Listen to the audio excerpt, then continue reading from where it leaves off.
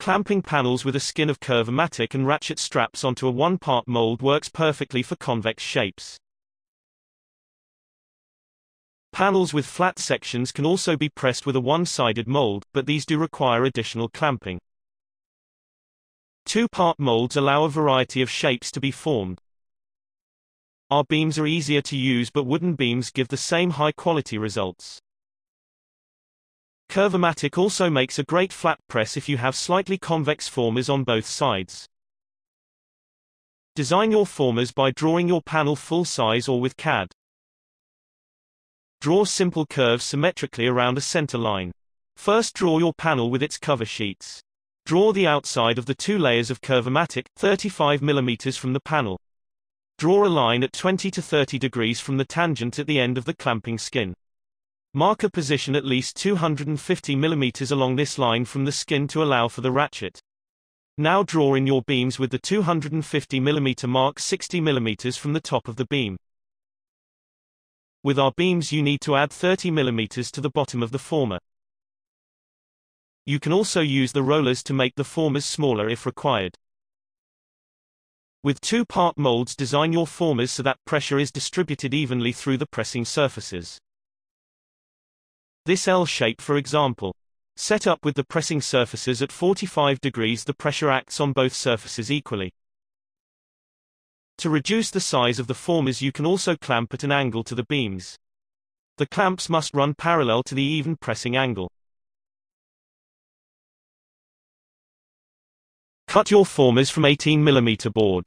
MDF is usually suitable but it can be damaged by multiple uses. Use plywood for multiple-use molds and when using the 25-degree extrusion, as the extreme pressure can damage the board. For regular curved panels, drill pilot holes in the center of the formers to attach the Curvomatic skin. When using the modular kit at 8 and 10 feet you will need blocks on either side of the former to take the skin fixings. With Curvomatic beams the formers drop into the channel, and are fixed with a grub screw. For wooden beams we recommend using 46 by 90 mm hardwood. Drill a series of 6 mm holes in the beams for attaching different size formers, with one hole in the center to screw into the pilot hole in the former. Then counterbore to a depth of 50 mm. A 100 mm screw should be able to extend 60 mm into the former. Drill a series of 12 mm holes to attach the ratchets. These should be around 25 mm apart and 30 mm up from the bottom. With wooden beams, mark and drill pilot holes to fix the formers to the beams. Use 100 mm screws. For S shapes, mark and drill the center pilot hole for the skin fixing, at the change of shape position.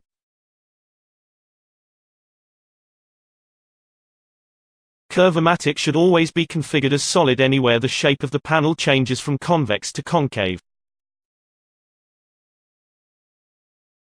Or from curve to flat section in the case of L-shaped panels. For L-shapes, the pilot holes for the center skin fixings should also be where the shape changes from flat to curve. With all double hollow kits you must first assemble the short lengths in pairs and insert a screw into the center hinge screw port on both ends. The sections must hinge freely. Assemble your double hollow kit at 2 foot long, by laying out enough components to make half of your mold skin.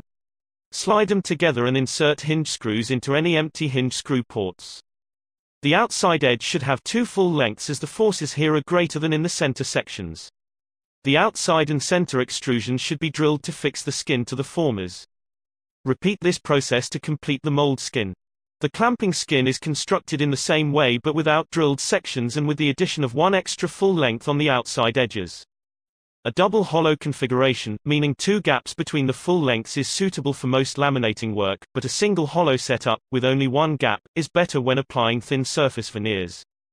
To turn your double hollow kit into a single hollow kit just remove half of the short lengths. This will however reduce the working width of your kit by around a third.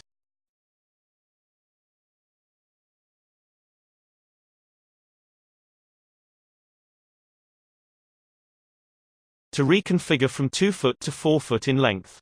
Remove the screws, and slide off enough extrusions to make up half the width that you require, then slide out the 6-inch lengths from one end.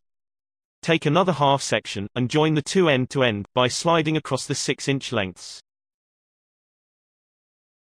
Repeat this process to make the other side of the skin. Tighter radius sections are made using our two smaller extrusions in conjunction with your 185 mm radius kit. These are assembled in a half overlay pattern from 1 and 2 foot lengths and are fixed by the adjacent 4 foot extrusions from the joining kit. Slide the drilled 4 foot sections from the joining kit onto the edges to finish. To assemble your modular double hollow kit at 8 feet long, lay out enough 2 foot and 6 inch lengths to make half your mold skin. Slide all the components together with the 4-foot drilled section from the joining kit on the outside edge and then slide the drilled 6-foot and 2-foot sections on so that the joints in the long sections overlap. Repeat this process for the other side. Join the two halves together with the remaining 6-foot and 2-foot drilled sections. Have the joint between the joining kit sections at opposite ends. The clamping skin is assembled using a similar method. Use the non-drilled lengths from the joining kit, and insert an extra run of 2 foot lengths on the outside edges, to make the top skin wider than the mold skin. Place the skin onto the formers, and insert all the center fixing screws. Now position and fix the blocks to attach the ends of the joining kit. Pilot drill and fix the edges.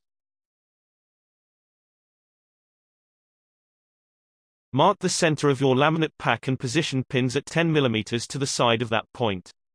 The pins need to protrude 5 mm from the pack.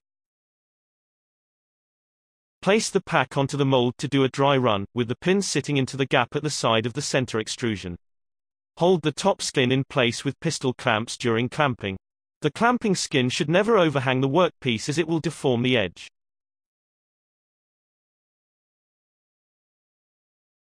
Remove the necessary number of extrusions so that the skin does not overhang the work. It is advisable to protect your curvomatic with masking tape, especially when using waterproof glues. Apply your glue only to one side of each laminate and use as little as you can. The surface only needs to be wet for lamination to work fully. Use cover sheets on both sides of your laminate. Hold the top skin in place with pistol clamps. If you do not tighten the ratchets evenly from both sides, the clamping skin will be dragged to one side. To avoid this causing a problem, keep an eye on the position of the pistol clamps, as they will move with the clamping skin. Tighten the ratchets accordingly to pull the skin back into its correct position. To make sure that your mold is not twisted, you should sight across the bottom of the extrusions. For two-sided pressing, insert the nails through the laminates at the contact point with the mold, and place the top part onto the laminates. Feed the straps through the rollers, and put both ends through the ratchet handles.